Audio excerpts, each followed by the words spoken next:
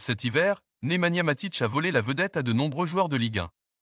En effet, le Serbe a été l'une des stars du mercato d'hiver en France. Un pays qu'il a rejoint il y a quelques mois seulement. L'ancien joueur de Manchester United a poussé en coulisses pour quitter l'AS Roma et signer en Bretagne. Après un long bras de fer, José Mourinho, très déçu par l'attitude du joueur. Et la Louve ont ouvert la porte.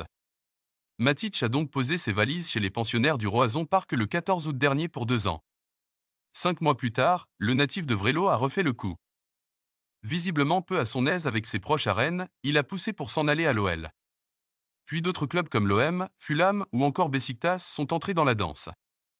Déçus par le comportement du joueur de 35 ans, les dirigeants bretons ont régulièrement fermé la porte. Mais tout s'est décanté dans la semaine puisque Matic, qui a choisi Lyon, a reçu le feu vert de sa direction. Hasard du calendrier, les Gones affrontaient les Rennais vendredi soir au Groupama Stadium. Mais ils se sont inclinés 3 à 2 devant leurs supporters.